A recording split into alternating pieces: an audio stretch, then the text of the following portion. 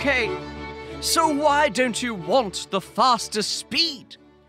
Help me understand why you don't want faster internet. Help me understand why you can't just disconnect us. Because my job is to have a conversation with you about keeping your service, about finding out why it is you're looking to cancel the service. I don't understand. If you don't want to talk to me, you can definitely go into the Comcast store and disconnect your service there. You can kill two birds with one stone. You've got to return that cable card to the store anyway. We're actually going to just mail the cable card in, but if you can just please cancel our service, that would be great.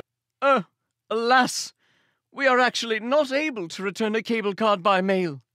Then I will send someone like a TaskRabbit to go return the cable card for us. I don't personally intend to go return the cable card. That's why we're probably not going to be canceling in store. So that's why I need you to cancel by phone. It sounds like you don't want to go over this information with me.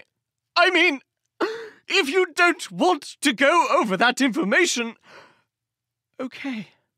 Then that's the easiest way to get your account disconnected. Uh, I, I am declining to state why we are leaving Comcast because I don't owe you an explanation. Please proceed to the next question, and we'll attempt to answer that if possible.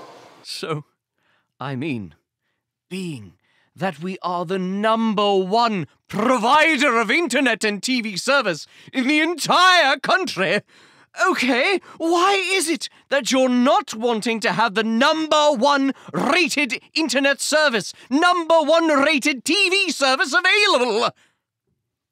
I'm declining to state we're switching providers. Can you please go to the next question? Okay. So, what is it about Astound that's making you want to change to them? I'm declining to state. Can you please go to the next question so we can cancel our service? Okay, so, I mean, I'm just trying to figure out here what it is about Comcast service that you're not liking, that you're not wanting to keep. I mean, why?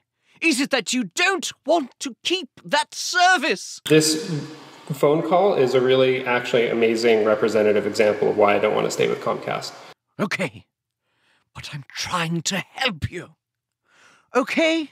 You are not letting me help you by declining answers by doing all this. I'm trying to hear you. This was a performance of Comcast Disconnect. If you would like to hear more performances of this variety, please allow this ill considered merger to go through.